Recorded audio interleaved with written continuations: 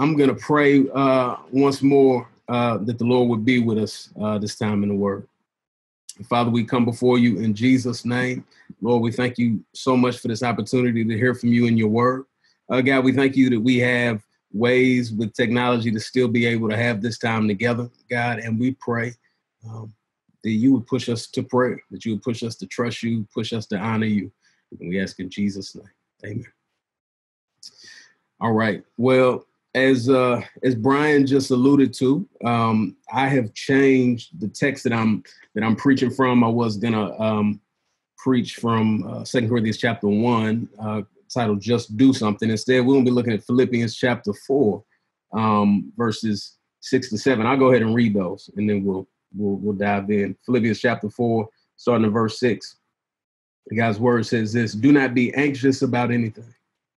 But in every situation, by prayer and petition, with thanksgiving, present your request to God. And the peace of God, which transcends all understanding, will guard your hearts and your minds in Christ Jesus. That's God's word. Um, I'll, start off by, you know, one, I'll start off by saying this is a little strange. Never just preached a whole sermon into the screen like this, but I'm, but I'm praying it'll still bless you uh, wherever you are. Uh, I, I, pray that God's work is still grab a hold of you. Um, when me and my family, and we just said in that little kitchen talk, me and my family uh, moved back to Dallas uh, about two years ago. And so obviously one of the first things you do when you move somewhere new is you find a place to live. And so we were obviously looking for a new home. And one of the things that was important to me once we actually got in the house, and I was keeping a close eye on, was the thermostat. I know that sounds silly, but the thermostat and how well it keeps your house the right temperature is one of those things that you can't really test in an open house or in an inspection. You, you just don't know for sure. Um, and all is good. It works well. Um, and what it means that it works well is that the temperature inside my house looks like what I set it at on the thermostat, right? So that even if it's hot outside, it can still be cool inside. Even if it's cold outside, it stays the same inside. Uh, it was stable. Uh, and the reason that that was something that I was really trying to figure out is because my old house uh, that I lived in was susceptible to, you know, changing climates on the outside. So it would be fine. It would feel nice when the weather was mild, but when it got really hot, then my uh, AC couldn't keep up. When it got too cold, my heat couldn't keep up. Um, and that's the opposite of what a, a thermostat is supposed to do. It's supposed to keep a temperature no matter what's happening on the outside. Um, and thinking about that also makes me think about our souls. Um, what we don't want is we do not want the kind of soul that is only in good shape when the climate around us is moderate, like my old house was. You want the kind of soul that's in good shape no matter what's going on outside or inside. A soul that's at peace no matter what comes your way, because we know there's always going to be a lot of crazy stuff coming our way. Um, and one of the things I want to focus on as we look at this text is anxiety uh, and how that should push us to pray. We want a soul that's at peace no matter what comes our way.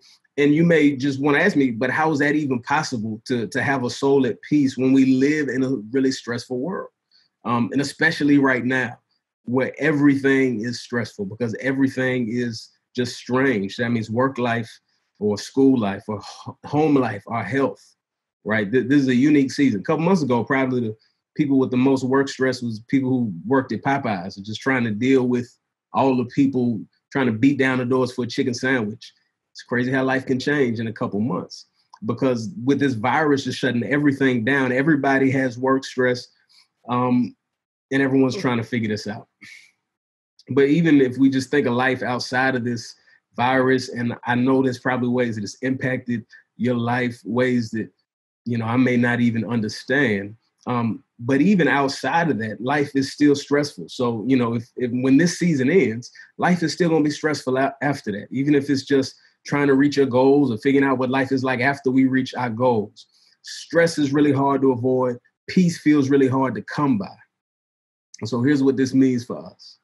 For us to have a peace that really matters, it has to be a special kind of peace, right? Because if we have a, a flimsy, fragile kind of peace, then that peace will act like a flimsy, fragile kind of peace. When things get hard, things get rocky, then that peace is going to disappear. And what we need, especially for a season like this, is an enduring peace, a peace that comes from God Himself. So how do we how do we get that peace? It's not by just looking at all our burdens and just trying to handle them on our own. We we we uh, achieve that peace by giving those burdens to someone else who can handle. Them. Here's what I think the main point of this passage I just read is. Um, I think the main thing I want you to walk away with, if you only walk away with one thing, is this: give your burdens to God, and He'll give His peace to you. Give your burdens to God, and He will give His peace to you. Um, in the book of Philippians, I'm not sure if you've ever read it. It's a good book. It's one of those short books too that you can read in a short amount of time. You can read it just on an afternoon. It's only a few chapters. Um, where we are in chapter four, which is the last chapter, um, you know, Paul has laid out these beautiful truths about the gospel. He's called them the ways they're supposed to live among one another, you know.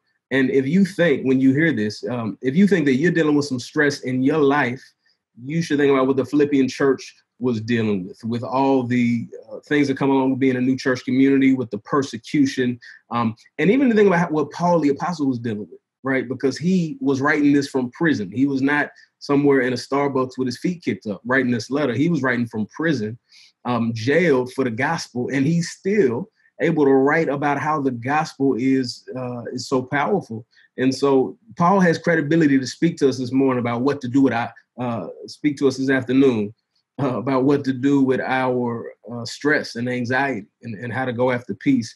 And so in verses one to six, when he's talking, he's encouraging them to have peace with each other. He's saying, I want y'all to have the same mind. Um, it helps the cause of the gospel. And then he tells us in, in those verses um, that we just read that if we give our burdens to God, God will give us his peace. So what do I mean when I say give your burdens to God? That's one of those things that could just sound like a, a, uh, a nice churchy thing that a pastor might say. What does it actually mean? I'll talk about that in three points what it means to give your burdens to God. Number one is let them go. Number one is let them go.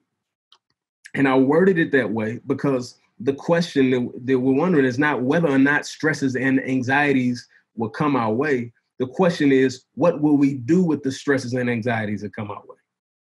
letting go of the stresses and anxiety sounds tough, but we can't just rationalize and normalize all our stress and anxiety. It's not a good way to live.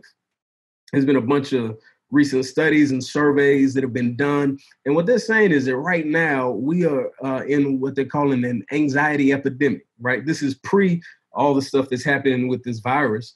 They're saying there's been this dramatic spike in the percentage of Americans who, who say they have stress and anxiety of all kinds.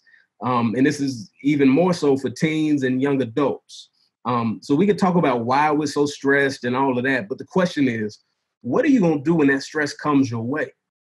We will have to deal with it. But we shouldn't assume that when that stress and anxiety shows up, that we just got to live with it. We, we shouldn't assume that we just have to accept it as just something we always will have. Paul is telling us something different and it like we have a choice. So, verse six again, he says, Do not be anxious about anything. Verse 6 says, Do not be anxious about anything. And that is uh, that is a, a, a big thing to say. Anything, right? That sounds hard to do. Um, there was one author who I think said it helpfully where he said, you know, him saying, don't worry or don't be anxious. That's both a command and an invitation, right? It is a command for us to do, but it's also an invitation to a better way to live. Think about uh, a life without any worry or anxiety. Just think about what that would be like. Doesn't that sound amazing? Right? The Greek word here for, for anxious that he uses when he says don't be anxious about anything, that Greek word uh, means anxious, right? It means just what it sounds like. You know what that means. Uh, to be anxious is to worry, to be deeply concerned about something, to be consumed, overwhelmed by our circumstances. And sometimes it's just one thing in particular, something that happened in your day or something that's going on in your life. And sometimes it's just this general sense of uh, of stress and weight on you. I want you to imagine though how much joy you would have if you were not weighed down with anxiety. Anxiety is it's a poison that kills everything. It sniffs out our joy and it suffocates it. But Paul's saying we don't have to be weighed down by it. Now I know some of y'all hear that and you think I'm saying ignore your problems. This is not a call to ignore your problems and the stuff that makes you stress. And here's part of why because ignoring your problems is just setting a bomb to go off at a later date. That's not what he's telling us to. He's he, he's trying to help us think through how to deal with them. So we shouldn't minimize the impact of stress or how we deal with it. Listen to what Jesus says in uh, Matthew chapter 6. Matthew 6, Jesus says this, starting in verse 27. He says, Can any one of you, by worrying, add a single hour to your life? And why do you worry about clothes? See how the flowers of the field grow? They do not labor or spin. Yet I tell you that not even Solomon in all his splendor was dressed like one of these. If that's how God clothes the grass of the field, which is here today and tomorrow is thrown into the fire, will he not much more clothe you, you of little faith? So do not worry, saying, What shall we eat, or what shall we drink, or what shall we wear? For the pagans run after all these things, and your heavenly Father knows that you need them. But seek first his kingdom and his righteousness, and all these things will be given to you as well. Therefore, do not worry about tomorrow, for tomorrow will worry about itself. Each day has enough trouble of its own. Jesus asked an amazing question to us here when we were worrying. He says, Can any one of you, by worrying, add a single hour to your life? right? Does, does worrying ever actually do something? Who's ever been able to solve a situation just by worrying about it? Now, worrying may have made you do something to solve it, but the worrying itself doesn't solve anything. Sometimes we find ourselves having so much anxiety because we'll take an issue, we'll turn it over in our mind, and we'll just take it to its scariest possible end. You ever had somebody, um, a friend, maybe a boss, be like, "Hey, I, I need to talk to you about something." You're like, well, what is it? No, I was like, no, I'll talk to you about it later. And then you spend the whole day uh, coming up with all these crazy doomsday scenarios, right? If it's your friend, you're like, man, I bet it's about that one time I didn't text him back, and I bet he probably called my professors and got me to fail, right? And I'm gonna end up homeless by next year. It's like, why are you going so far? Um, this is not a healthy thought life right? So we wrestle with stress because we just turn these issues over in our mind. And the only thing that accomplishes is making us more stressed. But Jesus gives us an alternative here, right here. He says to seek his kingdom and his righteousness. Jesus is calling us to action, but that action is not worry. some of us would do better at, um, you know, seeking his kingdom instead of uh, worrying and being anxious. Um, if we had friends who helped us to do that. Some of us are stressed out because we only hang out with stressed out people. Your mom is stressed, your little brother's stressed, uh, all your friends are stressed. Sometimes we need some new friends, right? If you ever uh, been around a peaceful person who just is able to see things as they are and is not so rocky up and down with everything that happens, it just makes you want to be that way and we can learn from them. And because we're in such stressful environments, uh, it, it makes it seem impossible to do what, what he's calling us to. Another reason we're stressed sometimes is because we have a low view of God's sovereignty and overall rule over everything. Um, because anxiety um, is one of those things that in worrying about something, it's almost like um, revenge, where God says, vengeance is mine, but we try to get it for ourselves. Uh, anxiety and worrying is, is one of those things where we don't trust God to be God, so we try to take his role from him. But uh, our part is not to, to worry about every detail. He's called us to specific things, and then we have to trust him with the rest. Because sometimes we think that God is really powerful, but he's not all powerful. That God has control, but not really, just a little bit. Um, and this world is kind of just spinning, and he can intervene when he needs to, but he's not controlling everything. But no, no, God is absolutely sovereign. He never loses control. He doesn't have to intervene if he's in control. God, when something goes wrong, God doesn't need to take back the reins, right? He doesn't lose control. Now, that doesn't mean that we don't have choices, right? Or that God condones what everyone's always doing, but it does mean that everything is in his hands. So, so even in a season like this, it's crazy for us to act like the sky is falling when we know that even the sky is in God's hands. It's His. So we act as if our trials are stronger than stronger than God when they are not. Can you imagine um, if um, like LeBron James' son was worried about where he was going to get his next meal? Wouldn't that be strange? That would be really strange. And, and here's part of why because your dad is a very wealthy person. Y'all got what you need, right? Um, and in the same way, our, our father has far more. So that when Paul tells us, don't be anxious about anything, one of the way, reasons that we don't have to be is because not only is our God in control, but He's also a God who who uh, who owns everything, right? He he has a crazy amount of resources. Remembering who God is changes the way we look at the stuff that worries us. And you may say, but Trip, that may work for your little problems, but you don't know what I'm dealing with. But again, Paul says don't be anxious about anything. So that means don't be anxious about your finances, which is one of the hardest areas, right? Especially in a season like this when so much feels up in the air. He says don't be anxious about your health. Hard in a season like this.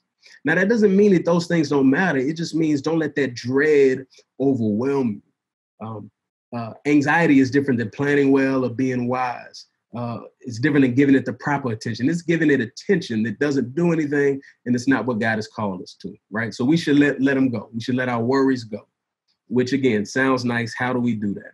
Uh, number two, we should do it our burdens. We should hand them off. Number two, we should hand them off.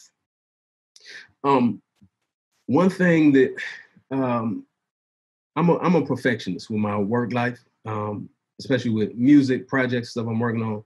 Um, but but this shows up in everything I do. I just want it to be right, and so what that'll mean sometimes is that uh, I want to do a lot of things myself because I like how I do, which is dumb because sometimes it's dumb because I I don't even do them right all the time. But one of the best things that I can do as a leader or even an artist is to delegate, to not try to carry all the load by myself, especially when it's too much for me. Well, God has called us not to try to act like we can handle all our worries by ourselves and to just ignore them. He's saying you, you should hand them over. But instead of handing them over to another person who might make their own mistakes, he's saying, hand them to me. I'm perfect. Um, we get to hand them over to an all perfect God. Verse six, I'll read it again. He says, Do not be anxious about anything, but in every situation by prayer and petition with thanksgiving, present your requests to God.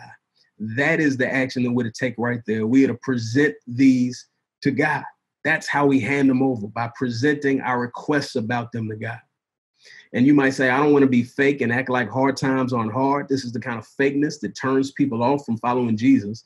But the opposite of worry is not ignoring your problems, it is giving them to God. The opposite of worry is not ignoring your problems, it's giving them to God, it's handing them off. I wonder if you've ever seen kids try to act strong. Uh, my son loves the idea of being strong, and sometimes he'll want to help carry heavy stuff. Like when my wife brings groceries home, and you know he wants to grab stuff too, and he'll be like, "Oh, daddy, let me get the, let me get this bag," and I'm like, "I don't think you should do that." He's like, "No, I got it." And he picks it up, and then his whole body falls because he's not strong. So if that thing's gonna get in the house, he has to hand it to me, an actual adult man who can carry it. And in the same way, um, God is saying we should hand things over to Him who's strong enough. And how do we do that? The main way is prayer by making our request known to Him, which may sound crazy, but if it does, it's because we forget what prayer actually is. Prayer is not just saying some words at the ceiling. Prayer is the act of handing our burdens over to Jesus because He's strong and He can take care of. And He asks us for. He asks us for. Think about how amazing our Savior is, That not only will He tolerate us bringing our burdens to Him, He asks for them. He wants them. He's saying, Those are mine, give them to me. First Peter 5 7, Peter says, Cast all your anxiety on Him because He cares for you. Jesus is saying, Those anxieties, those burdens, those are mine to deal with. They're not yours. Hand them to me. So then, for us not praying or, or not calling on God in the time of stress is just foolish right? It would be like not calling the police when your house is being robbed, right? You you would say, man, why didn't you at least file a, a, a police report? Why would you not call on the ones who can do something to help you, the, the ones who said they, they're going to come to your aid? Now, I what I don't want you to hear me saying is that if you are uh, a person that's stressed and you got a lot of anxiety, um, it's because you, it's definitely because you don't pray enough. I'm not saying that, but it might be because you don't pray enough. Because when we pray, and it's not just the act of prayer either, it's the posture that goes with it. Because right, you can you can close your eyes and say words without having any faith in your heart.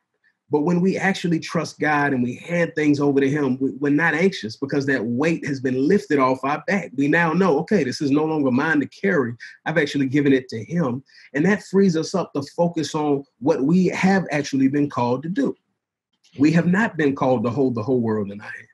Maybe we've just been called to do our job with our whole heart. Maybe we've just been called to keep disciplining our children. Maybe we've just been called to turn in our schoolwork on time. Maybe we've just been called to love our neighbor. Um, but we can put the burdens on him. He gives us three words here for, for what it looks like to present things to God. Um, uh, he brings up three things. The, the, the, the, there's overlap in these words too. One is prayer, which means intercession for others. Is an intercession. And one of my questions about your prayer life is, do you ever even pray for other people? Do other people ever come up when you talk to God, or are you the only person who's ever on your prayer list? Um, we should be going to God for other people. Uh, that, that other passage I was thinking about preaching, Second Corinthians 1, he's thanking the Corinthians for helping him by prayer. Sometimes we think the opposite of doing something is just praying about it, like, oh, thoughts and prayers. God says that praying is doing something about it. And Paul says, thank you for your help by praying. Sometimes things are out of our hands and we actually can't help a person anymore, but we can pray to the God who can. He says prayers, he says petitions. Uh, a petition is uh, an urgent request to meet a need, right? So, so it's it's an urgent request, and then I really need something. I need to be delivered. Uh, scripture says, uh, God says, "Call upon me in a day of trouble. I will deliver you, and you will glorify me." We want to bring those petitions to God, and He says requests. It's like naming specific items. I wonder, do you pray for specific things? Some of us we like to pray, and we just like to, God, you're so good. Thanks, Amen. Uh, God wants us to bring specific things to Him. God wants us to pray for that situation at work where that coworker is getting on our nerves. God wants us to pray about whether or not our job is going to be waiting for us when we come back. God wants us to pray about when our kids are driving us crazy. We're wondering, is this kid always going to be like this or is this a stage? Give me the strength to deal with this. God wants us to bring those things to Him. And somebody may say, if God is so sovereign and He knows everything, why would I bring it to Him? Well, look, God doesn't need us to ask Him but he loves to do things in response to us asking him right? That, there one time jesus tells that story of the woman who keeps banging on the, the, the door of the judge and eventually the judge opens the door and jesus like if even this judge who's an evil person um, will respond when it's repeatedly asked how much more your father in heaven? He's saying you should keep praying. You should keep bringing those things to god. We'll talk about that a little bit more in a second. But he also says that we should present our request to God with thanksgiving. Now, you may say, "Why? What does Thanksgiving have to do with my peace? That kind of peace uh, that's being talked about?" And it's because Thanksgiving is a core part of prayer. Scripture always is mentioning Thanksgiving alongside prayer. Uh, for example, First Thessalonians 5 17, he says, Pray continually or without ceasing, ceasing, giving thanks in all circumstances. So when we go before God with prayer and petition, we should do that with thanksgiving. Thanksgiving is uh, it's like a, a, a way to express the gratitude in our heart, and we have to approach God with gratitude and not entitlement. We should never go to God without saying thank you, right? Because even in the most stressful situations, there's still more than enough for us to thank God for. Um, my kids are uh, seven and five, and when we pray every night, I ask them for bed. I say, what do you want to thank God for? What do you want to ask God for? Because not only do we need to be asking God for things and praising Him for who He is, we also need to be thanking Him for what He's done. A heart that uh, is asking God for stuff but never thanks Him for what they've given Him is not a heart that's prepared to receive what you've even asked for. It's like that entitled child who keeps asking for allowance but never says thank you, right? Or that kid at Christmas who keeps asking what the rest of their presents are without saying thank you for the ones that they've already opened without Thanksgiving, we, we can't even see our situations well. I hope you understand that, you know, your lack of thanksgiving for, for the things that God has given you is one of the causes of your stress, right?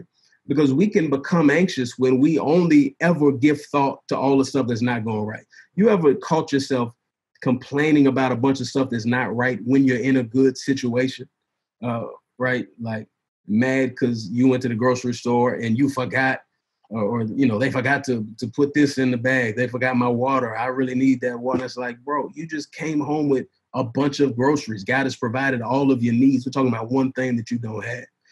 Um, remember the story of the 10 lepers where jesus heals them they go off and one comes back praising god and jesus says what's up with the other ones? Were they not also blessed? We, we should thank god and have this heart of thanksgiving not entitlement entitlement is a friend of your worry and it's an enemy of your peace. Entitlement, when, when you think you just deserve everything, that is going to lead you to a place of stress and worry because you're always going to be confused when we when you don't get your way. Um, as the enemy of your peace, the more entitled our attitude is, the less at peace will be. This is how little kids live, where they're always confused when things don't go their way. Um, we we do that all kinds of ways in our hearts. One thing goes wrong, we grumble and complain all day. And if we don't do it out loud, we do it in our hearts. But we should thank God. We should have this this heart of gratitude. And I'll confess that, you know, th- there have been seasons even recently where I felt convicted that that I personally just haven't been praying enough about certain things. That there's some stuff that, that is stressful, um, that have when there's stuff that's, that's stressful and has been in our lives for a long time, the temptation is to just stop praying because there, there can just be sneaky doubt that seeks in, wondering if God is really ever going to do anything. But when we look in the Gospels, we see Jesus continually encouraging us to keep bringing things to Him, to keep bringing our burdens to Him, so that even if He hasn't answered our prayers in the ways that we want to, we need to keep bringing those burdens to God. Because if we give God our burdens, He will give us His peace. Last last thing, number three, we should do with our burdens. We should trade them in. We should trade them in. Um, there's a good trade-off happening here that God that God gives us. Um, when I was a, a little kid um, and, and I played video games, I was never very good, and I only played sports video games, Madden, NBA Live, you know, those kind of things. Um, but whenever I would uh, trade stuff in a GameStop, they would always, it'd be a game that I bought for however much it was, 25 $30, and they'd be like, okay, here's 37 cents. It was like, bro, I bought it here last month for this amount. It was always a bad trade in. It was never a good trade off. I never got something in return that was worth me even going to the trouble of bringing it. Um, but here's, here's what is happening here. Verse 7 The peace of God, which transcends all understanding, will guard your hearts and minds in Christ Jesus. This is a good trade off, right? Giving God our burdens and our worries is a good trade off because what we get back is this peace that transcends all understanding. This peace is not just an inner feeling good. It's not just an inner peace. It's a peace that shows up in our whole lives. It's going to show up in our relationships, show up in our community life with other believers right? This is part of Paul's conversation with the Philippian church about their unity. The peace of God should show up in the life of their church and, and in your churches too. Um, and he says that this peace transcends all understanding. And, and I think he means that, that this peace isn't dependent on how much we understand, that we can lack knowledge of why something's happening and how long it's going to happen, but still be at peace. And, and I just, you know, I need you to, uh, one thing we got to just grab a hold of is there will always be some lack of understanding about a situation. And if we can only be at peace when we know all the information, then we will never be at peace, right? Because to be human is to lack understanding. So we should be thankful that the peace God offers us, that the peace God offers you is a peace that transcends your understanding.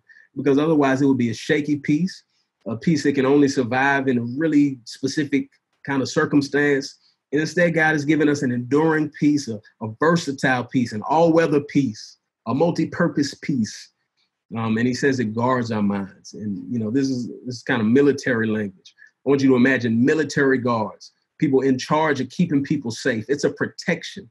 This peace doesn't just make us feel better, it protects us, right? So some of you saying, Trip, praying and is not going to keep life from being chaotic. And I didn't say that.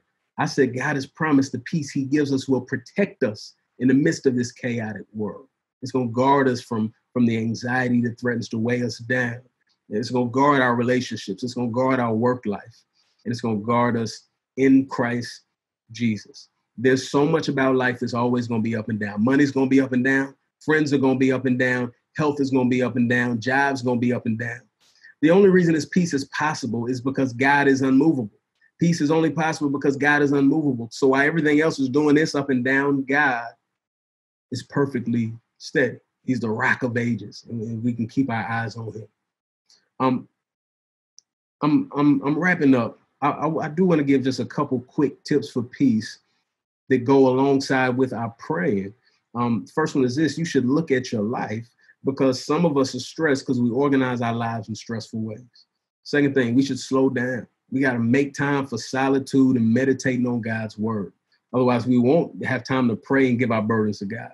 Uh, third thing, we want to give time to community, spending time with other people, right? You, you want to spend time with people of peace and invite those people into your life.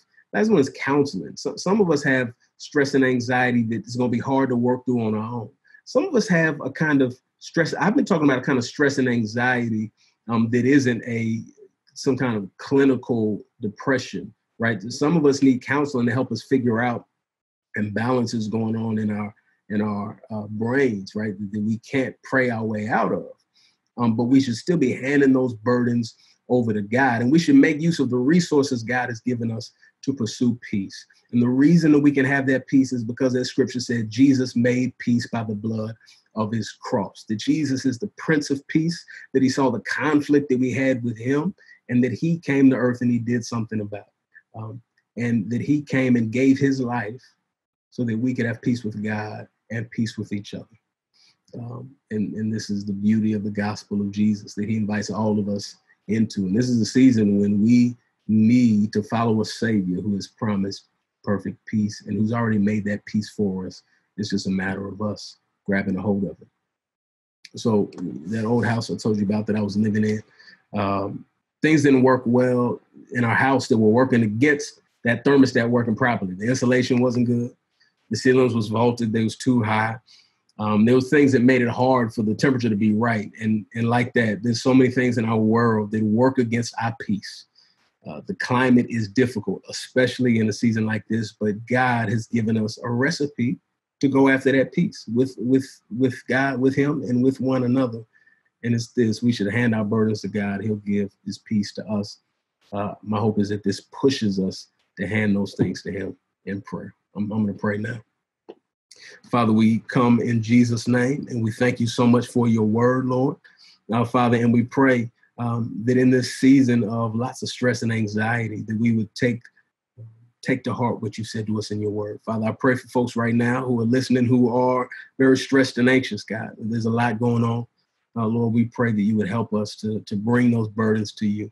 Not expecting some magic trick to, to not be stressed out immediately, but God, knowing that when we live a life of handing the heavy things to you, uh, that you're more than capable of holding them on your own. And we ask this in Jesus' name. Amen.